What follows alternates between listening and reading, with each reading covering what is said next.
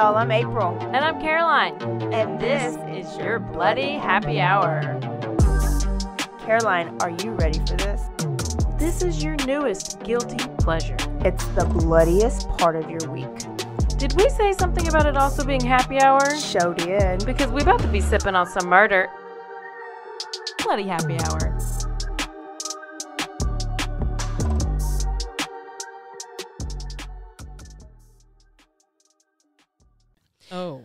Um, How did you? Okay, I don't know. I, I don't know. We don't have Wi-Fi anymore. I don't. I don't understand that. I know. That concept. I know. Like on purpose. I gotta have no. I have to get like this big, humongous like satellite on top of my house, and I don't want to do that. So I've just been using like hotspots. When did you get the satellite? How do you watch TV or like? We have regular. You just hook up to your hotspot. It's been working fine, but I guess sometimes it drops. I know it's real. That is, you are. You're being real ghetto. Right being real country. You're being real ghetto. real country. But we have regular, um, like satellite cable, so I don't have to watch TV on Wi-Fi. Go watch regular TV if I watch TV. Anyways, so I'm gonna go by memory because I have great. Well, I did take my Memory. ginkgo biloba today, so maybe Let's I can see. help. So we're going to UK first, and we're going to talk about Nicola Bulley. She is a 45 year old mom of two. Um, in my article, it says mum of two because we're in the UK. That's what they say. So she, on January 27th, she takes her kids to school. And then her routine is take her dog named Willow to the park and they go for a walk. Oh. And this is like a nice, it's almost like two level park. It's not really two levels, but it's like there's a higher level and a lower level. And the, on the lower level, there's this river. I don't know what the river's called. So she's walking and she's seen by people that walk there every morning. So she waves at different people. Um, at eight forty, at nine o'clock, she calls her boss or Okay. sends her boss an email. Mhm. And then she logs on to a Teams call. oh, Okay. I do that a lot. And she was walking while she was on this Teams call, and she didn't really have to be involved in it. So she had her camera off and her sound off, but she was just listening. Yeah. She was last seen walking by the river near the bench with her dog. At 9:30, somebody discovered her dog with no harness and her cell phone on the bench still logged into the Teams call. Okay. or this was 950 at 930 the team's call was over with. Sorry if my timeline's off because i'm going by memory. But around that time the team's call was over with and she never logged out. So she was still on there but nobody else was on there. Does that makes sense? Mhm, like it just mhm, didn't mhm. shut down. Um and so Willow was just right there with the harness off. And so there's the river, there's the bench, there's the walking path behind the bench, and then there's the dog and there's her phone. So she was finally reported missing. And um, so police searched every, like they got drones, they got helicopters. So now it's January 28th. Police search dogs. They were all over that little park and walking area and the river and everything. And they didn't find like not a trace of Nicola. Volunteers, like there were like a hundred locals that were all there to like help search and whatever because this is in this area there's never anything like this. So it's big deal right now. This is like Yeah. Gabby Petito in the UK because things like this never happen. Like it's a big deal. So, um, now officers do say that that river is extremely dangerous. So they're wondering could she have fell, fall into the river Oh, she just threw her phone and landed on the bench and still on the team's call. and then took off her dog's harness yeah, and then so. got in there. So um, on January 29th, no, 30th, people, the police say that they, their working hypothesis is that she either fell into the river or she might have walked in to commit suicide, just like walked in the river and drowned herself, which that that just What? doesn't happen. You don't walk in the river to drown yourself. You like jump off a bridge maybe into the river to drown yourself. But Yeah. so her family is like, um, I'm pretty sure police don't make decisions off of a hypothesis. Like you should keep an open mind. So now they're in the news and they're like, everybody, please keep an open mind. This is, there's no like logical evidence that she is in the river or that she would have committed suicide. And supposedly it's a very muddy area right there between the bench and the river. So you would have been able to see foot tracks or if she Yeah. slipped, like slide tracks yeah. or something, and it was untouched. So families like, I'm not with this right now. Mm-mm. And so police are like, yeah, we kind of think she's in the river. So this team, mm, it's kind of like our adventures with a purpose. yeah. They're called something else. I'll say it if I find it. Um, but that's what they are in the UK. They volunteer to come and dive this river, and it's just like a long, like narrow river, like the Guadalupe or like our Brazos River here. Mhm. And um, they were going to use sonar Oh yeah. to see if they can detect anything. They dived and looked, searched for days. Five miles down from the bench where she would have gone in the water, on each side, and then on the edges, and then deep down in the middle. And they found nothing. Nothing. So, um, by February 6th, Monday. That was. On No, on February 6th, they begin their search. Okay. On February 8th, they called off their search. So they searched the 6th, the 7th, and then later on the 8th, they called off their search and just said that they, um, this is the Specialist Group International. That's what the, the team is called. Oh, okay. They said that um, they don't think that she is in the water. And if she is, she, if, if she is, she's way further down. But I don't know. Yeah. Yeah. So the leader of this group, Peter Faulding, did say that he thinks that Nicole's phone on that bench is a decoy to lead people to the river when she's really maybe not in the river. And you know what I thought of? Sherri Papini when she just like Oh, placed her phone in a piece of her hair. Yes. you know, wrapped I'm up n- her. Yeah. I'm not saying Nicola is AirPod is cord. is a Papini, but that was a decoy, so this could also be a decoy. Would have just let. Okay, like if you're, you're just gonna leave your dog there. I know, but I knew you're going to say that, but she's also leaving her kids. So that's probably it's probably easier to leave your dog than your kids. I would somebody with kids would say. Caroline would not. Caroline would be the kids are fine. Let me just take Parker. Jack will Jax will be fine. Let me take Parker. Yeah, like but the kids, like at least uh, is she? Where's the baby yeah, daddy? she's got a husband. We're gonna get there. Oh,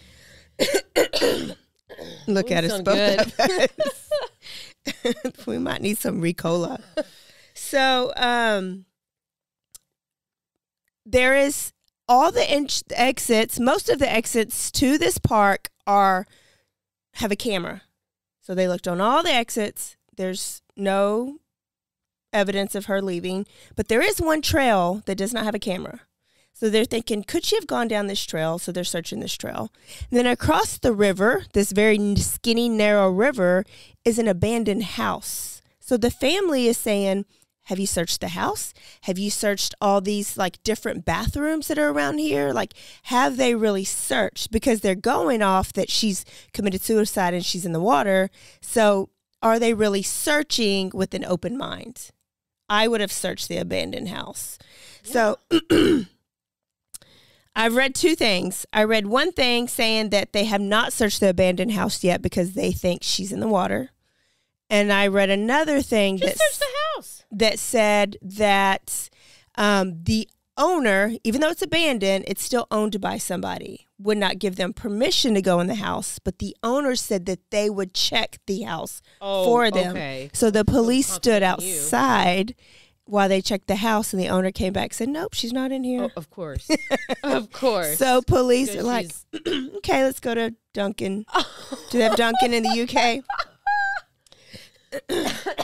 so that's really where we're at. Um, right now, everybody, the family, the husband, are like, it feels like she has literally disappeared because she was seen at house nine ten. underground.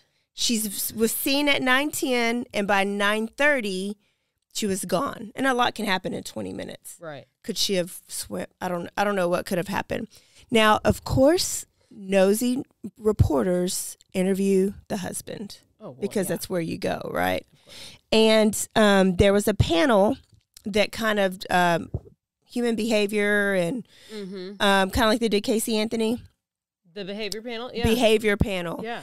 Four of them. Yeah. and all of them three of them agreed that husband did not seem suspect at all. Like that he seemed very genuine but more like stumped. Like if he had a loss for words it's because he is stumped and like he's not sure where to go with this. And Mhm. um, one of them did say it's weird that he didn't plead for his wife like bring my wife home i hope she's okay like he just kind of just was f- kind of flatlined about it Mhm. he gave me a little bit of chris watts vibe because chris watts would kind of like smile or like chuckle through it like it would be like a nervous chuckle like you do Mhm. right Uh-huh. um, but no, he is kind of getting ridiculed, but people don't really think that he has anything to do with it as of now. So then the only other person to think about would be the woman who said heard their dogs played together for a little bit on the walking path, and that's the last that she saw her. So could that woman that was the last person to see him, her, have done something else? What was the husband's alibi? Or where was he? He's got an air type out, I think, at work. Like, cause she would get up. She worked from home, I think. So she would get up, go to the park, and then go home and go to work. And he was already at work. This was like nine thirty. So after why are nine. they questioning him? No, all they did was interview, Just like they do husbands. Yeah. you know, when their wife is missing. um, I'm gonna need them to go inside the abandoned house. I know. What and is- please report back to that and check all the bathrooms and porta potties and whatever Oh. else. And they don't even get a warrant to go. I, I don't know how that works. Oh no, you're not allowed to come into my house. I thought they could just can bust in. Mm-mm, you gotta have a warrant. um, you gotta have permission or a warrant. So Okay, we'll follow that because we'll just see. I love it. I love it. They were saying that like homicides don't happen, and what doesn't happen a lot over there is husbands killing their wives. Maybe it's starting. Maybe this is the Maybe one. This is it. So there's Nicola. We will follow Wow. that. Nicola, what's her? Bulley, B U L L E Y. Nicola. And then um, we talked about her a little bit last week, a little bit. Um, Lindsay Clancy. Oh, yes. They had her hearing. I watched it. Yes, I watched did the too. whole thing. Okay, so What? And now a word from our sponsors.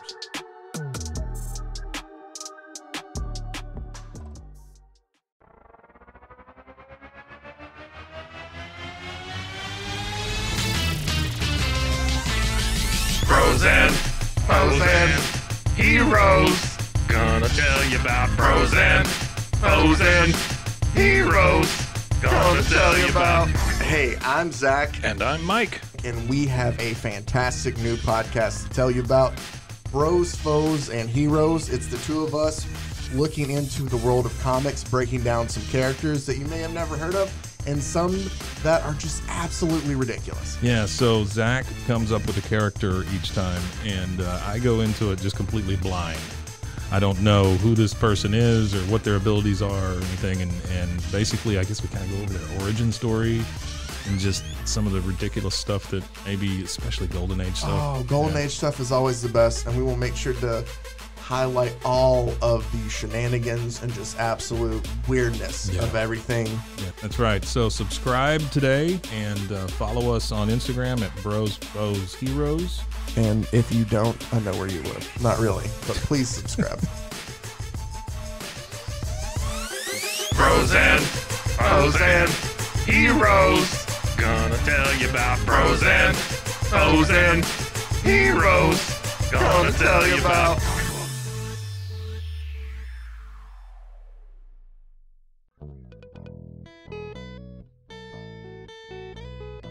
Hi, this is Sarah, And I'm Carter. and this is some of our thoughts.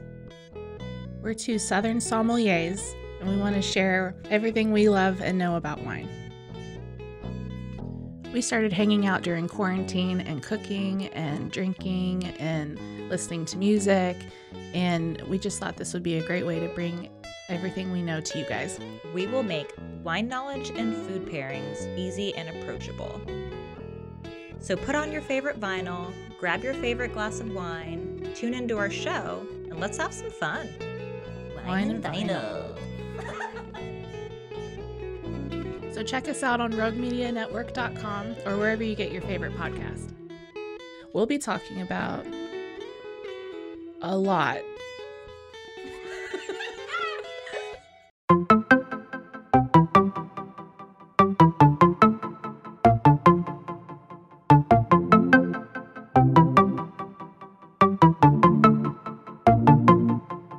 Welcome to One Star Rewind, a new podcast about those dreaded one star reviews that every business owner hates to receive, but yet every customer loves to read. During this podcast, we will peel back that one star review to better understand how it happened, when it happened, and what the business owner is doing after receiving that one star review. This podcast will be about love, hate, and laughter. On One Star Rewind, we will meet with real business owners will tell their stories and how they do rely on reviews for their business. Follow us on Facebook, Instagram, or download us at roguemedianetwork.com. Please subscribe, but only rate and review for not a one star review. Join us each time for a new review and a new story.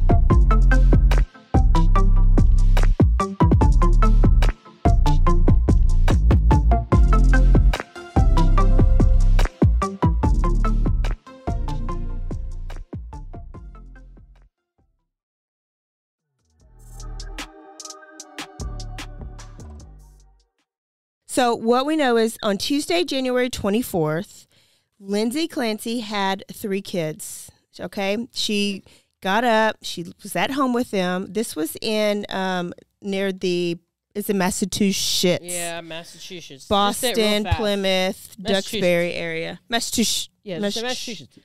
So Tuesday, January 24th, she takes her kids to the doctor and um, runs a couple errands, goes home. The kids go outside, they play in the snow, they build a snowman, they have a normal day.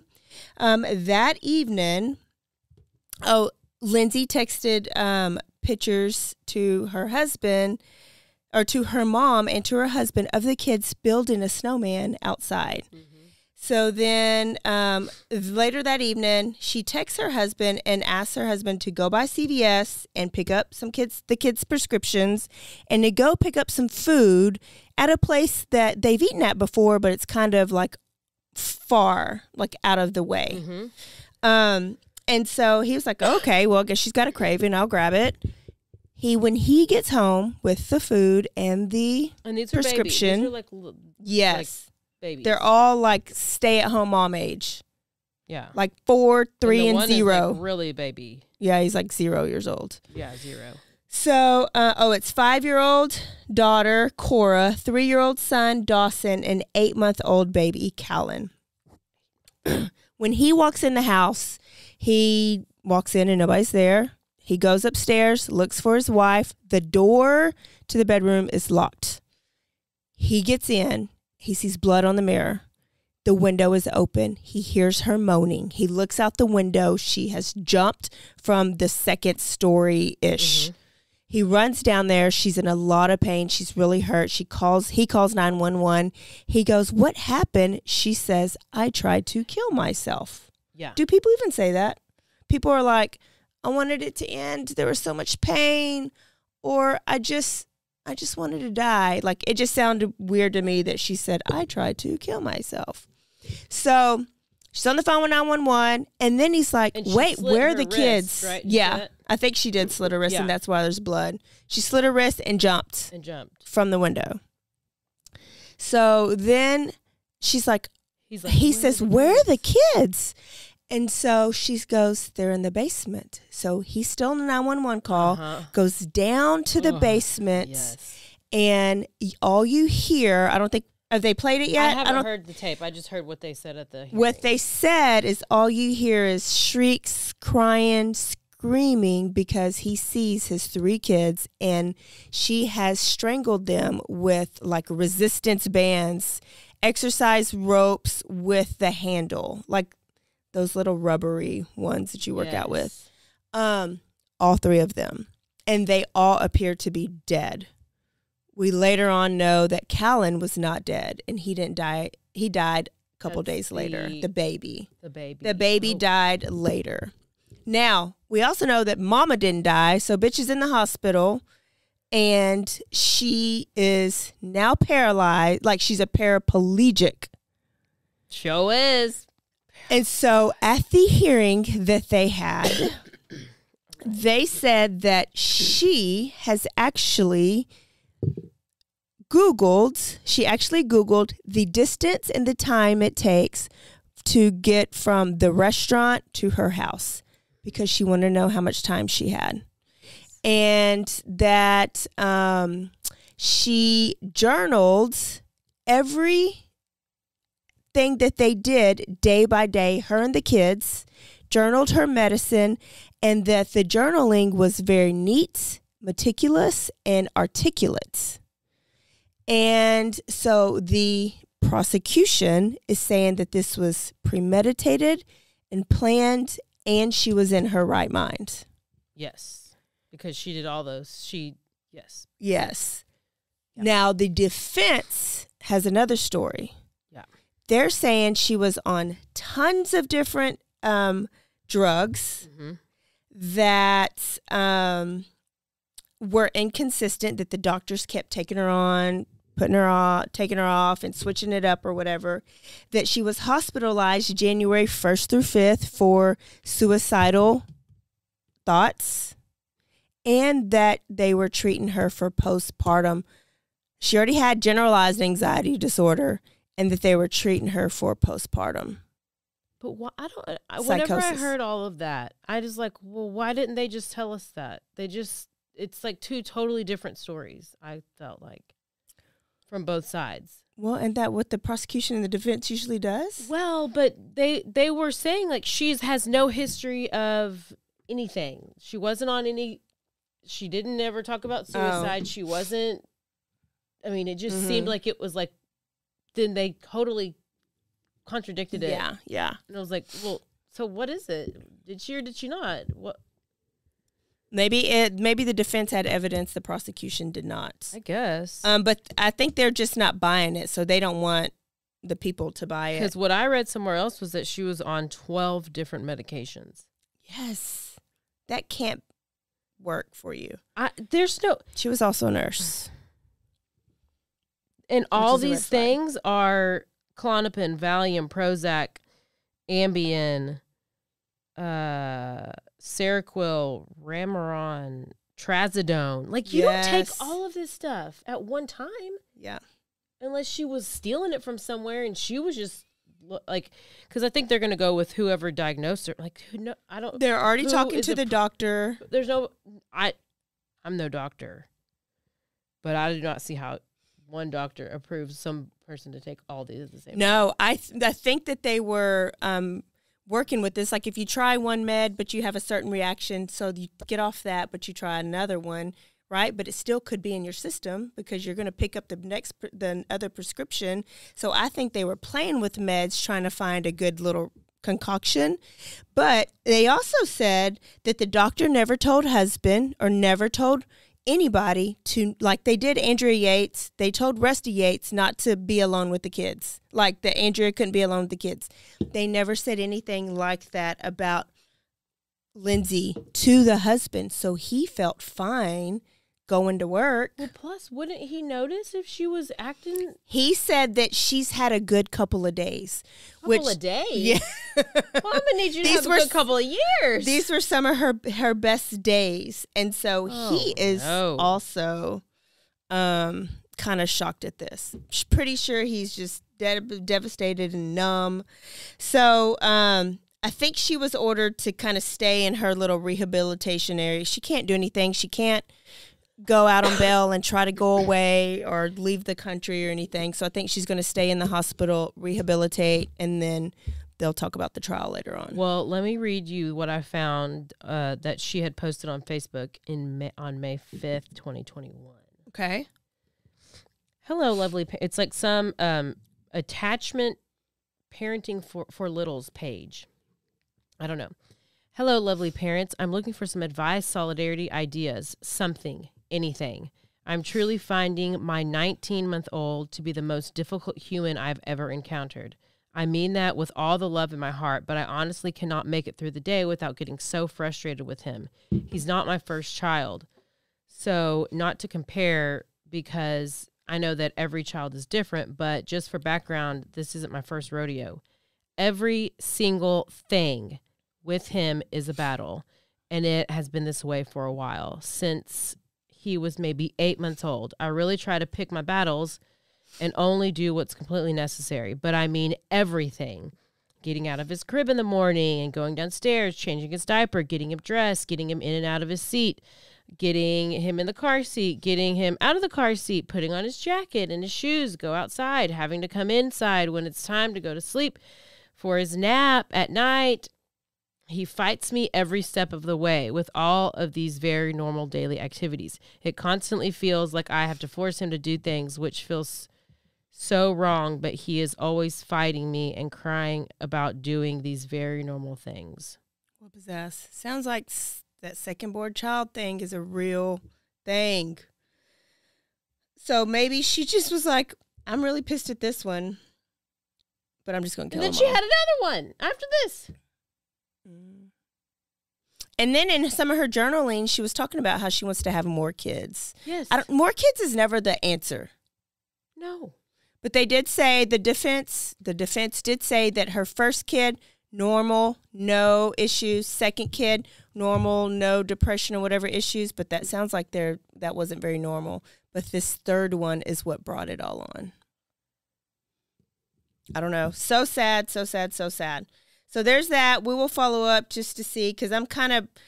It's kind of like the whole I mean, Andrea what do you think? What do you, do you think that? What do you think? Do you think she just snapped and killed her kids, or do you think she's like had some kind of mental psychosis? I would need to know. I would need to know more. I would need to know. Did she journal everything all the time? Like, was she that meticulous, or was this like new behavior? I would need to know, um, w- like the doctors.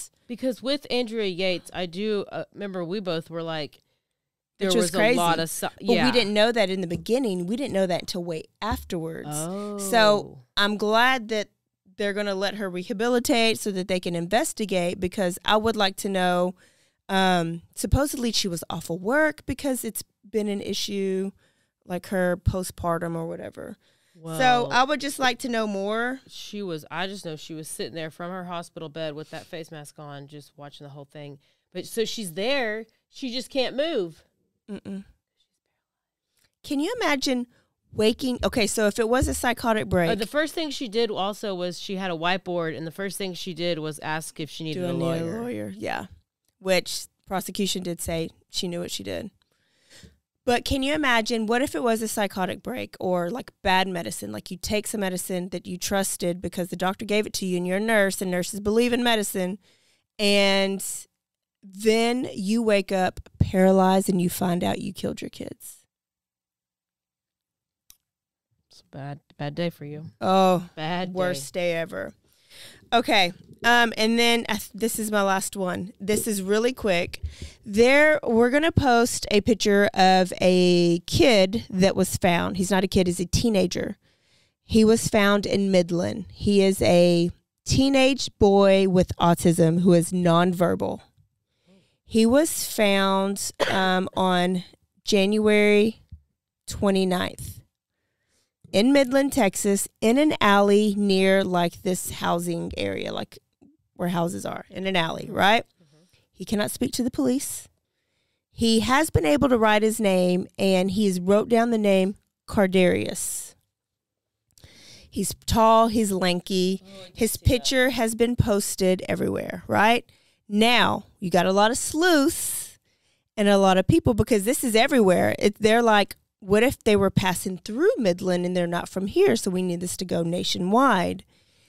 14 years ago, um, a little boy named Adji Desir, who was autistic and nonverbal, went missing in Florida. No one has reported someone went missing in Florida. And the family never found him. They never found a body. They never found out what happened to him. People think that Adji looks like what this kid, maybe Cardarius, could have looked like as a young boy Exactly like him. as a young boy. Um, and so now we're wondering if this could be this missing autistic boy. Now, Adji was Haitian. So when he was younger, he couldn't speak, but he understood Haitian. So they're wondering if that's why he's not really responding to anything, is because we're talking English to him, and maybe he only understands Haitian, which he probably wouldn't respond. He couldn't respond verbally, but if he could write his name, could he write? Could he type? Is there a speaking device? Could he point? Could he do something? You know, um, but there's no communication, and it is what's today? February 9th. When y'all hear this, it'll be what the 13th. No. It'll be Caroline's birthday. That's Monday. This comes out on Tuesday. So it'll On be the Valentine's? 14th when they hear Okay. Happy birthday, Caroline. Ah! So, um, they know nothing. Not one person has come forward and said, "Oh, that's my son. That's my nephew. That's my grandson. That's my nobody." Not one person.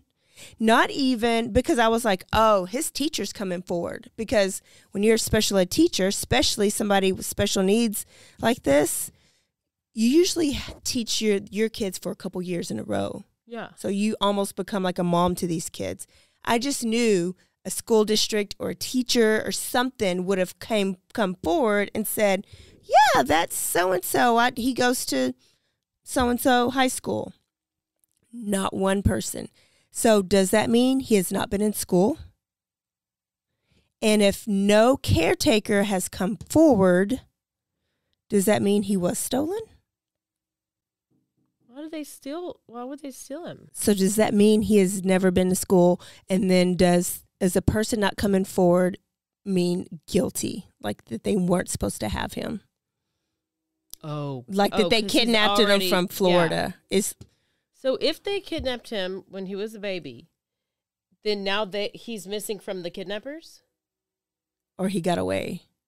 how would he even know where to go? He didn't. He was walking in an alley. I know. People found him because if he wasn't hidden, or if he was a part of the community, a neighbor. Somebody Yeah, from the grocery store, somebody would have come forward and said, "Oh yeah, I've seen that kid with uh, down at this corner at this house." Like, what would the use be for? Like he, Why would you kidnap an autistic kid? Is what you're saying? Yeah. Yeah. I would have to think that it would be a family member, like that didn't trust how maybe the caretakers were taking care of them, or you're a Oh. pedophile and you know that this that you can probably abuse this kid, and what's he Oh, you can't tell just- nobody. yeah. Oh, that's for sure. That's it. It's just real suspicious because at first they were like, "Oh, he's probably lives with the grandma, and the grandma died, and he just was hungry, and he was in the alley in the dumpster trying to eat or whatever." But somebody knows the grandma, so somebody would have seen him, and that somebody would have already come forward. That is nuts. I know. So, gonna be following that one, and then I have to end with some. What do you think about this girl that came forward on TikTok and said she's R. Kelly and Aaliyah's love child? Are you joking? Go to TikTok and search R. Kelly and Aaliyah's daughter. This girl has gone viral. She even sings Aaliyah's song, and she's like, I just want y'all to know that I've been holding this secret for forever. I am the child of R. Kelly and Aaliyah. And she's saying all these things to prove her. You look in the background, there's all these pictures of Aaliyah, and she's like, I just grew up, I did not grow up with my mom, and it was just been so sad that I had to keep this a secret, but I wanted to let y'all know, and I sing just like her. And then she sings, and she, she does not sound just like her. We're pretty sure she's either real crazy or real special. Oh, But then somebody was like, oh. bitch, that's your real mama right there. so just if you want to, I don't know, I don't, I, I won't even say laugh because if she's No, crazy or special, then you may not want to laugh at that. But it's just No, but really random and crazy. Yeah. It's gone viral. I'm surprised you hadn't seen it. Yeah. So R. Kelly and Aaliyah might have a love child. Go look her up on TikTok. I'm gonna have to post it. I'm gonna have to post it. I'm gonna tell you why I haven't been around because, you know, I've been in the in the uh, trial of um, the never ending trial, Never ending trial. which I'll tell you about more on Thursday. Thursday. Okay, y'all, that's all I have. I hope you enjoyed the quickie. Love it. for today, and we will see y'all Thursday. Don't forget to rate, review, and subscribe.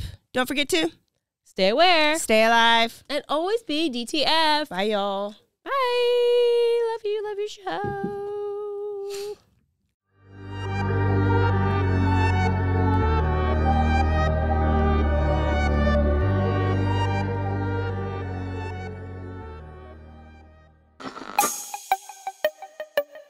This has been a Rogue Media podcast.